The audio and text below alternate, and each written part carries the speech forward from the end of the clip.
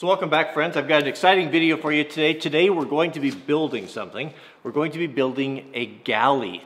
And a galley is going to include a couple things. It's going to include one big drawer for pots and pans and things. It's going to include a, uh, ability to hold uh, the little 12 volt refrigerator and a, a clever sideways, uh, I'll show you, a, a, cutting board deal to extend the, the cabinet. The cabinet's going to be 24 by 24. We're going to use a uh, combination of, I think, three quarter and half inch plywood.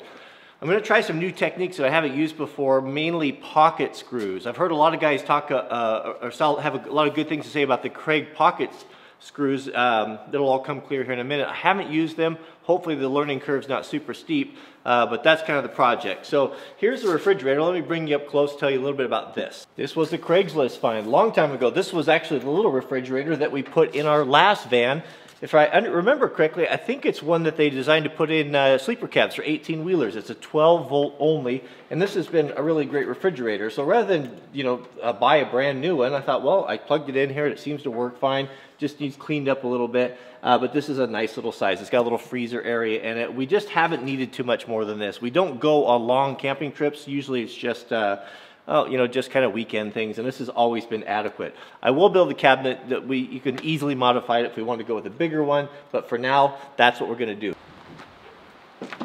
All right, this should be the bulk of what we needed. I've got a, uh, this was a Home Depot trip. I've got uh, some one by fours. I got 10 of those. I've got a, a birch bark or birch plywood, is it? For whatever smooth veneered plywood, three quarter and a half inch. I found something really cool that I was, was not expecting. Um, and I want to do, you know, of course I want to carpet some of the interior panels and stuff. And I found this really great indoor outdoor carpet from Home Depot that was really cheap. I got this 12 foot by 12 foot piece for, it was around $45 or so with the mastic and a trowel. So uh, that's going to be in the future. Also, I got these uh, kind of cool um, foam panels, these foam boards uh, that I'm hoping we can kind of double insulate the refrigerator so it makes it a little, doesn't have to work so hard. So once we get the cabinet built, hopefully we can kind of insert these and, and help it out a little bit. Um, another thing that's cool is they had, uh, a, they had this finger jointed uh, finished, it looks like, I don't know what it is, something maple-ish. It was intended to be the top of a toolbox and they were I think they were only like 19 bucks a piece and I thought this would really be great for the the integral cutting board as well as maybe a cabinet drawer faces. I think what I'm to end up doing is I'll build the box and I think we'll do a formica or something on it. Anything can happen but uh, so that was kind of a, a nice surprise. And here is the Kreg jig. I just got the cheapo one. Uh, we're going to find out if that's something that's going to help with the assembly. And last but not least the full extension drawer pulls, got a couple of those too. So I'm not a cabinet maker, so please don't have very high expectations. We'll, we'll do our best. All right, let's get everything loaded and uh, start making our cuts. So those of you who are the more observant type will realize that the Espar furnace is now in a different location. Yeah, I know. What is it they say about poor planning equals, well, I think we all know. I had to move the Espar because our plans change and I, anyway, so here it is. It's in the back now where it was going to go is where the galley is going to go. So let's go take a look at that real quick.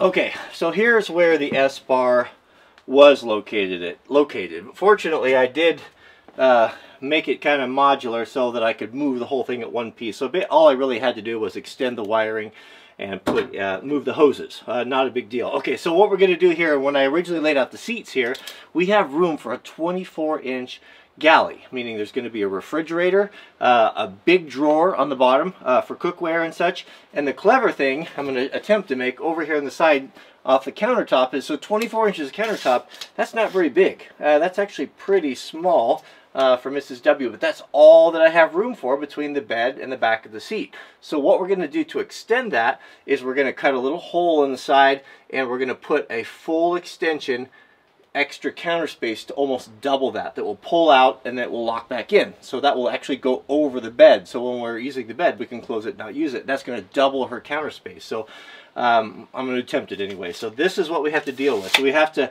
completely build a custom cabinet that's going to fit around all this stuff. And there's a lot of figuring to do uh, before I get started on this table saw And a quick recap, just to the left of the cabinet, of course, we've got our Magnum inverter.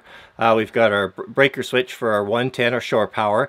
And then I cleaned up uh, this wiring, let's focus on here, using a Blue Sea fuse box. So this is really, uh, really nice. I, um, I'm proud of this.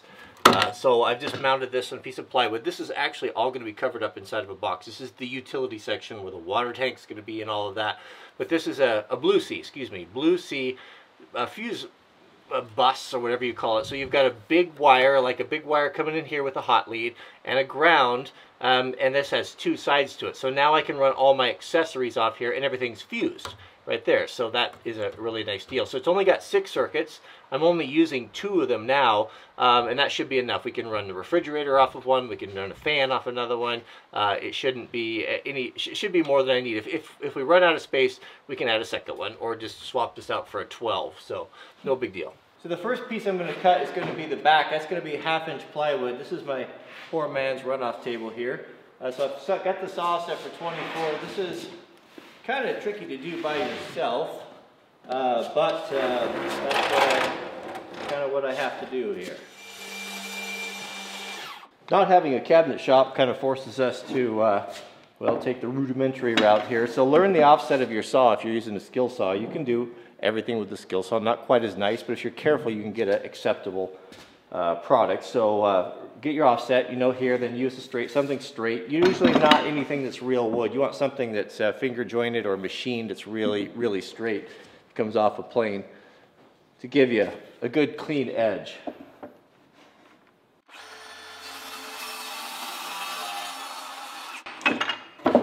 Okay, so this is the half inch sheet that's at the back of the galley. So we've got to notch out for two things. We've got, one is the, is the Espar, the furnace plumbing, and the second is a body uh, pillar that we need to cut out for us. So here's a little pro trip, or pro trip, pro tip. Uh, if you want to, what can help you cut straight lines is using a speed square. It's a quick and easy way to cut lines. Now these are not critical lines. This is going to be a part of the cabinet that's hidden. But what you can do is you can use it along the square, as a square edge right there. So line up your saw and use the speed square with the fence, make sure you don't let it slide, uh, to cut a nice clean line.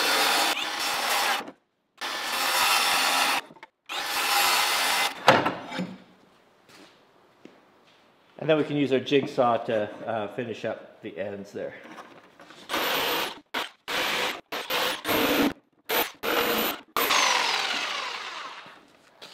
All right, let's check our fit after a couple of revisions. So the two things, or, the obstacles that we have to deal with are, of course, the, uh, the pillar, the body pillar there, and we've got our heater hoses and our wiring, and that gives that enough, enough room right there. These uh, pipes, hoses are coming in contact with the wood, so we'll, we'll put some uh, some uh, protection on that to keep that from wearing a hole. But the main thing we're looking for is does it fit? Here's our, our hard points are between uh, the bed, which ends right here. We've got a good three quarters of an inch there. We've got three quarters of an inch uh, from the seat, which is a, in its full rear reclining position. So we don't have, we don't anything touching because it's going to squeak and rub and wear stuff out. So that's just about what I figured when I put the seat in there. So that is our 24 inches uh, cabinet. So I guess there's no reason why we can't go ahead and start building our box. Now since our front and our back are going to be need to be exactly the same width, we want to rip both of those before we reset our saw. We have the, so they're exactly the same. So I decided to go with three quarters of an inch, sweet low, three quarters of an inch on the front uh, because a couple different reasons. I don't like to have a three quarter inch cabinet because of the weight, but this refrigerator mounts on the flange, so it, the front of the flange of the refrigerator carries all of the weight. So I want a thick surface, uh, plenty of wood to, to lag that to. Not to mention the fact that we're gonna have a huge cutout for the refrigerator and a huge cutout for the, the lower drawer. So it's actually just kind of an exoskeleton anyway. So there's not gonna be that much weight to it. We're gonna cut most of it out. So this is the hard part, ripping a three quarter inch piece by yourself, but uh, it's gotta be done.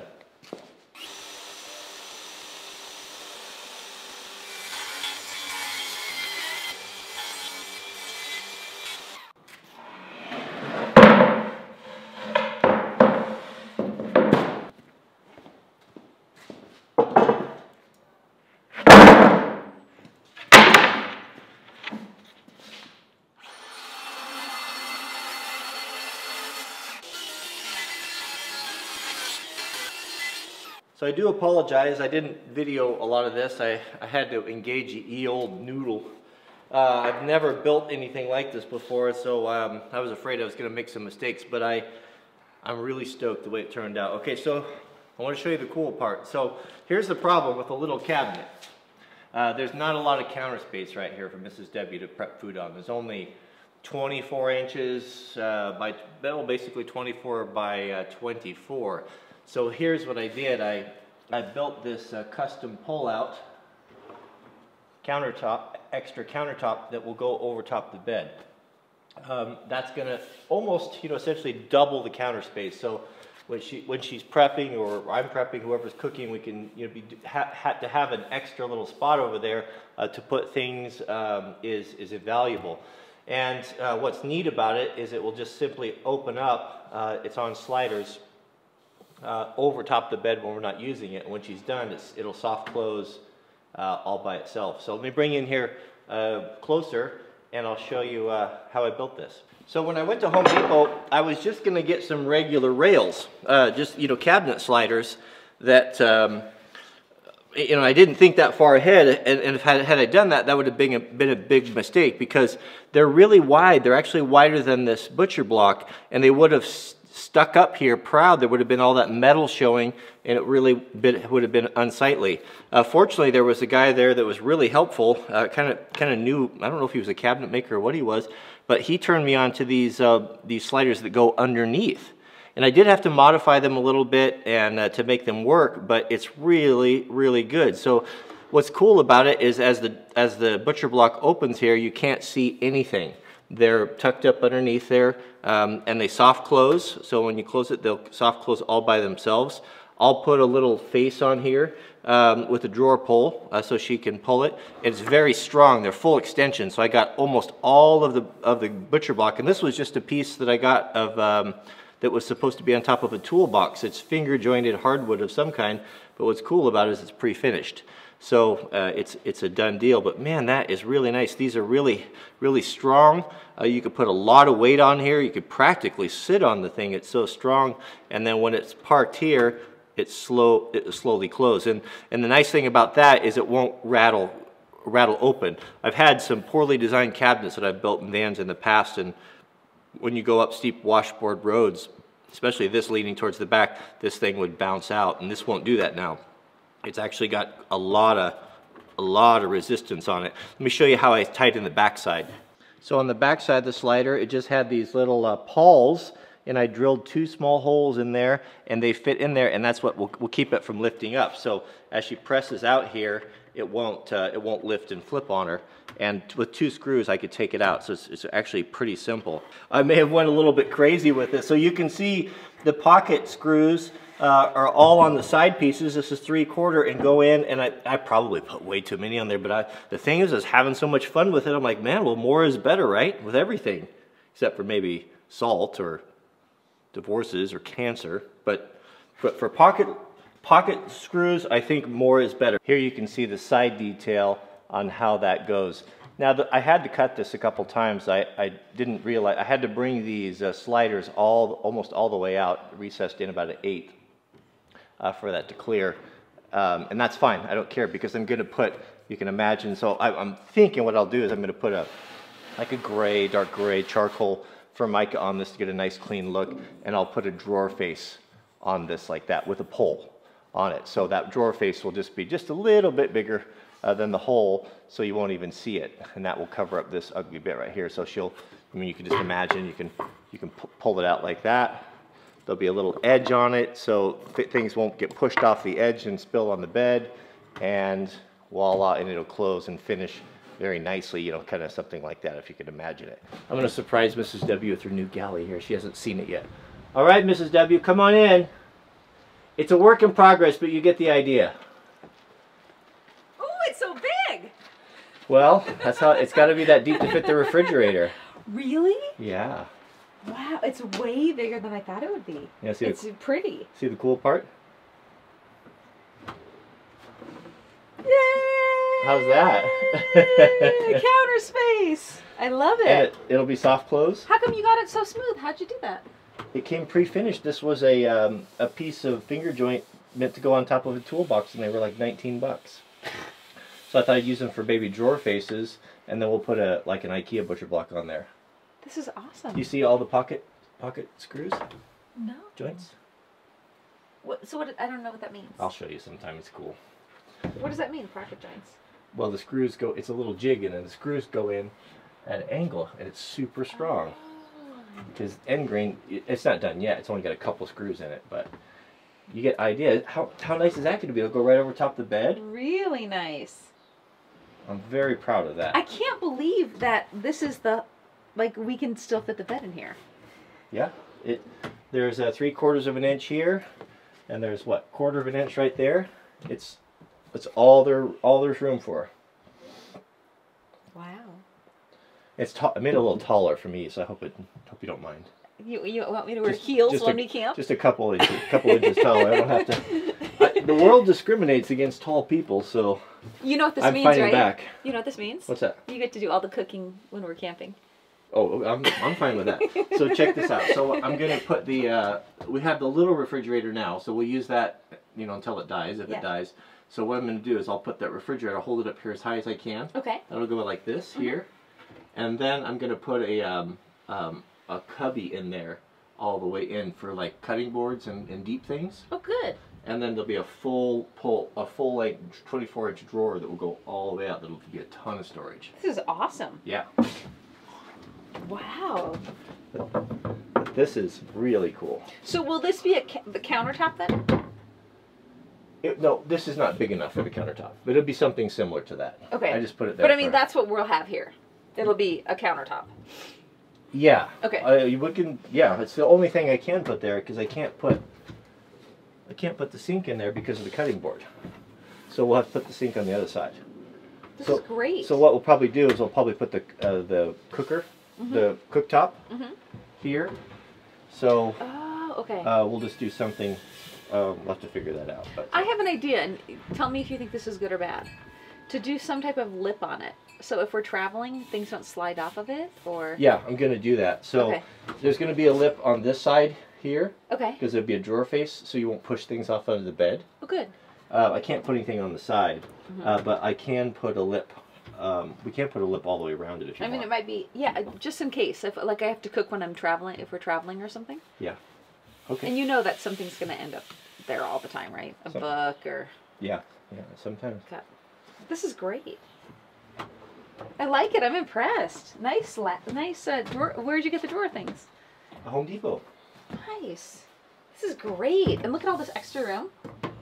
That is key because that way you can plate the dinners. You can put out bowls yeah. if you're shredding stuff for tacos. And or... it's really strong. I mean, you could put like a, you could put a baby there if you had to wash I her. don't know if I'd put a baby there, but you, you put, put the baby here and anything you need for cooking, you you can definitely put. This there. is actually gonna be really nice for like giving the baby a bath or changing her. Yeah. Put a cloth on there. Of course, clean it off well before you use it for cooking. But you know what I mean. That's it. Well, nice. next, next time the fridge. Woohoo!